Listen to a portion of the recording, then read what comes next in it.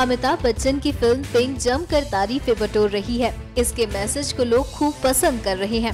बॉलीवुड में भी फ़िल्म को सराहा गया लेकिन जया बच्चन ने फ़िल्म देखने के बाद जो प्रतिक्रिया दी उसकी उम्मीद किसी को नहीं थी। वुमेन ओरिएंटेड फ़िल्म पिंक तीन लड़कियों की कहानी है जो मॉलेस्टेशन का शिकार होती हैं, मगर उल्टा उन्हें ही बदचलन ठहराने की कोशिशें शुरू हो जाती हैं।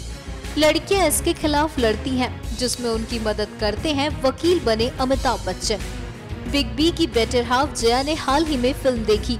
शो के बाद जब मीडिया ने जया जी से पूछा कि फ़िल्म कैसी लगी तो जया ने तेवर दिखाते हुए कहा, अभी मैंने पिक्चर देखी है। जब कोई अच्छी चीज़ देखता है तो मुँह बंद रखना चाहिए जया जी का जवाब जानकर चौंक गए ना। सुना तो ये है कि जब भी कोई अच्छी बात सुनो या देखो तो उसकी खूब तारीफ़ करो, ताकि ज़्यादा से ज़्यादा लोगों तक पहुँच सके। लेकिन जया जी ने तो रूल ही चेंज कर दिया।